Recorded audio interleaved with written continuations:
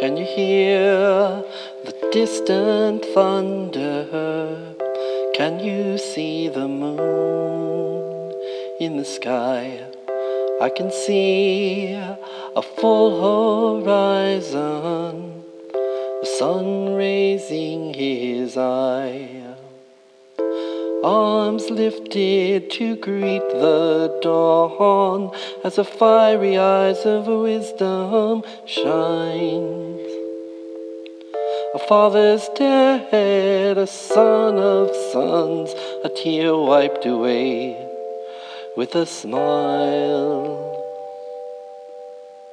All of my life I have seen many offerings to the gods and all the wonders that they hold. But how many people really can hear the pipes of Pan as they sound across our sacred land of old?